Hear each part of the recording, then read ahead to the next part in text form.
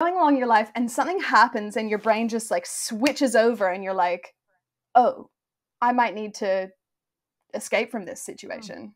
People Yeah. who have female bodies and who have experienced layers upon layers upon layers of microaggressions to Yep. assault to abuse to like, you know, coercion. Like they just like men just do not have you know the majority of them don't have the same life experience and like lens Yeah. through which they look at things i don't move through the world just willingly smiling at everyone being automatically open. I i have walls up that have been erected because of a necessity because Yeah. i am in this body and i've had to deflect so many fucking advances so much seedy creepy crap so much like unacceptable behavior so much boundary crossing. It's just like another sort of microaggression that mm-hmm. reaffirms your place in society as men want it to be. The thing that men are most afraid of is that women will laugh at them. And then the thing that Mm. women are most afraid of is that men will kill them.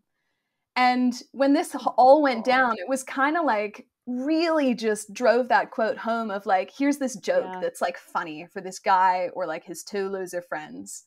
And for me, I'm like, oh, cool, I might die.